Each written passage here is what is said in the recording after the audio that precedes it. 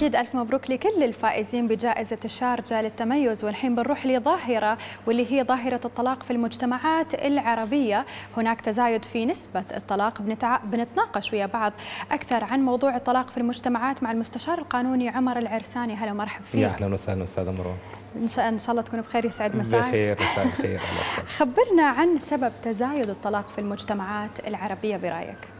بالبداية أتشكركم على اللقاء لمناقشة موضوع مهم جدا وهو أسباب الطلاق وظاهرة ازدياد حالات الطلاق ودور المشرع نعم. في هذه الظاهرة بالبداية أسباب الطلاق عديدة يعني في منها السبب سوء اختيار شريك. الشريك من البداية نعم. فهالشيء راح ينعكس سلبا على حياة الأسرة واستقرار الأسرة في المستقبل في أسباب ثانية فمن الممكن أن يكون عدم الكفاءة بين الزوجين من أحد أسباب الطلاق من الممكن أن تقصد تكون فكريا اجتماعيا فكريا اجتماعيا نعم. بكل النواحي ثقافيا علميا فهالشيء بالنتيجة راح يؤدي إلى عدم التفاهم بين الزوجين والنتيجة الحتمية راح تكون هي الطلاق أو مشاكل مستمرة نعم. بين الزوجين في أسباب أخرى ممكن تكون هي أسباب مالية تتعلق بالزوج مثلا في أسباب تتعلق في أسباب مالية أيضا أسباب نعم. عفوا تفضل. أسباب مالية وأسباب اجتماعية قد نعم. أدت إلى إلى إلى ازدياد حالات الطلاق. نعم خبرنا عن دور المشرع في الحد من حالات الطلاق دور المشرع في الحد من حالات الطلاق يعني بالبداية اولا أنا برأيي ان ازدياد حالات الطلاق كان نتيجة عدة أسباب فهي نعم. أسباب اجتماعية وأسباب دينية هي الرادع الديني وأسباب اجتماعية وأسباب قانونية فمن الممكن الأسباب الاجتماعية فأنا برأيي أن دخول يعني كسبب من الممكن أدى إلى ازدياد حالات طلاق دخول المرأة في مجال العمل بغض النظر على أنه إيجابي أو لا فله نتائج سلبية بعض الأحيان على استقرار الأسرة لأن المرأة من الممكن أن تقضي معظم وقتها خارج المنزل فهالشيء يأثر على يأثر التزاماتها المنزلية صحيح. والعائلية والزوجية وبالتالي من الممكن نشوء خلافات زوجية نعم.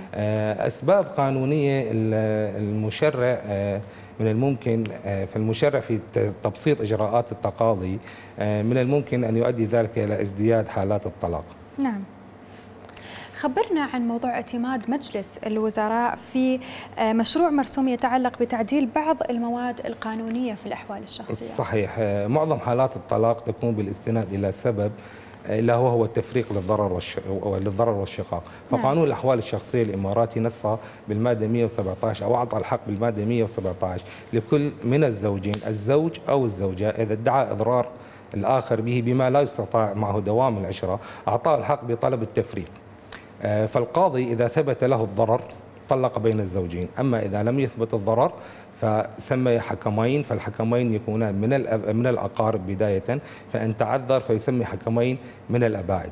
مهمة الحكمين في هذه المرحلة هي الإصلاح البحث في أسباب الشقاق والإصلاح بين الزوجين فإذا عجز الحكمين عن الإصلاح فإذا كانت الإساءة نسبة الإساءة كلها من الزوج حكم وقرر المحكمين التفريق بين الزوجين بدون المساس بأي حق من حقوق الزوجة المقررة شرعا وقانونا أما إذا كانت الإساءة كلها من الزوجة قرر الحكمين التفريق بين الزوجين نعم. لقاء بدل تدفعه الزوجة أما إذا كانت الإساءة مشتركة بين الزوجين فقرر الحكمين التفريق بين الزوجين بدون بدل أو على بدل يتناسب والإساءة. نعم. أما إذا كانت الإساءة مجهولة يعني ما نعرف مين المسبب لل- للإساءة فإذا كان طالب التفريق هو الزوج اقترح الحكمين رفض الدعوة.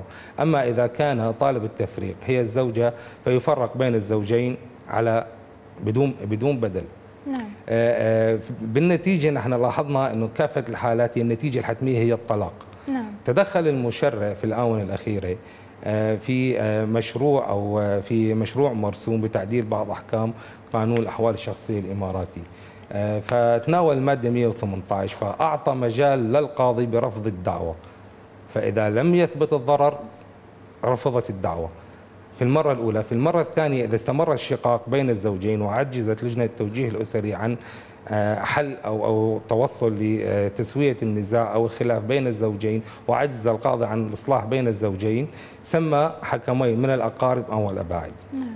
فهون النقطة الأولى من المرسوم أنه القانون أعطى الحق للقاضي برفض الدعوة آه، في حال عدم ثبوت الضرر فأعطى فرصة أيضا للزوجين لمراجعة أنفسهم فإذا استمر الشقاق عين حكمين من الأقارب فإن تعذر ذلك حكمين من الأباعد فالمشرع أيضا آه، تدخل في مجال صلاحيات المحكمين فنص إذا كانت الإساءة معظمها أو, أو كلها من الزوج حكم آه، أو قرر المحكمين التفريق نعم.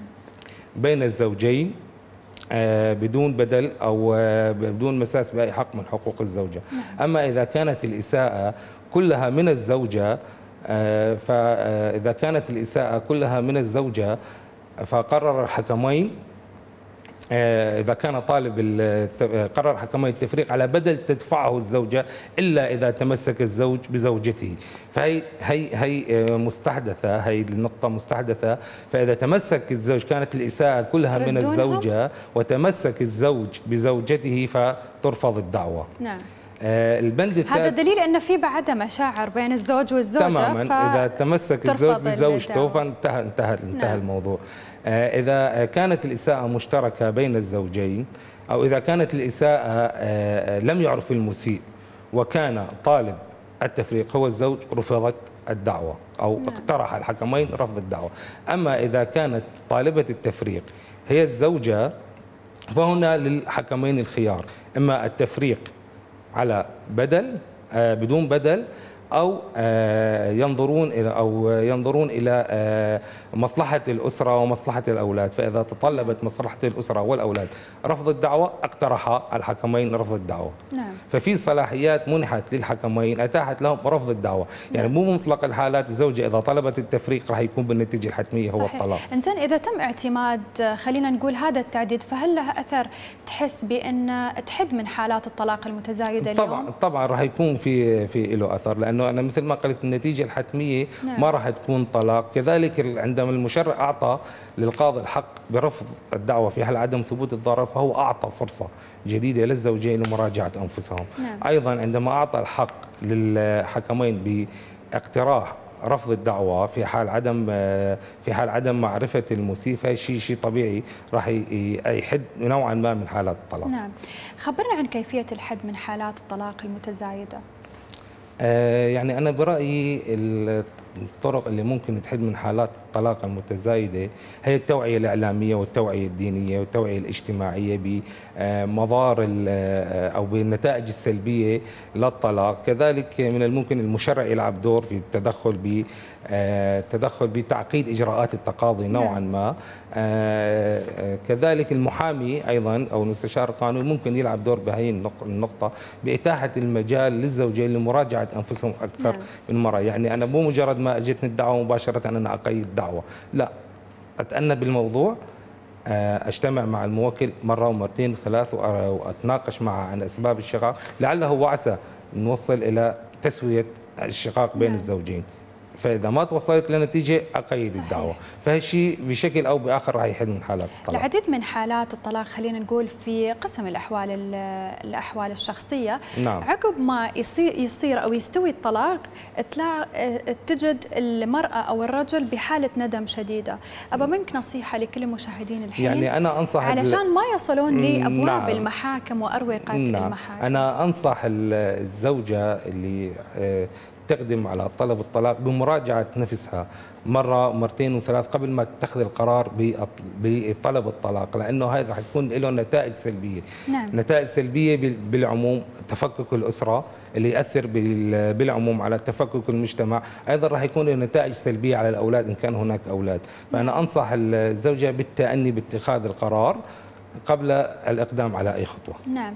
كان ويانا ضيف في برنامج سبعة على سبعة قال بأن آه، المرأة المقبلة على الطلاق واللي مصرة أنها تطلق تعيش ست شهور مع أولادها وتسوي آه، تجاهل تام لزوجها. نعم. أكيد بتشتاق له خلال الست شهور هذه وبترد له وبترد علاقتهم وايد صحيح جميلة. صحيح. شو رأيك بهذا الموضوع؟ انت صحيح. كلام؟ كلامه صحيح. فالزوجه من الممكن إنه إذا خاصة إذا كان خاصة شهور. إذا كانت الأسباب أسباب الخلافات هي أسباب طفيفة يمكن تجاوزها. فالزوجه أكيد راح تحس بالاشتياق لزوجها نعم. فهي شيء من الممكن إنه يرجع ترمم العلاقة من جديد. نعم. أكيد أستاذ عمر العرسان مستشار قانوني في مكتب عبد الله السويدي نعم. نورتنا اليوم في شكراً. برنامج سبعة على سبعة وكل الشكر لك على تواجدك. معنا اليوم شكراً في البرنامج. شكراً. شكرا مشاهدينا الحين بنروح لبريك سريع ورادي لكم لبرنامج سبعة على سبعة خلكم ويانا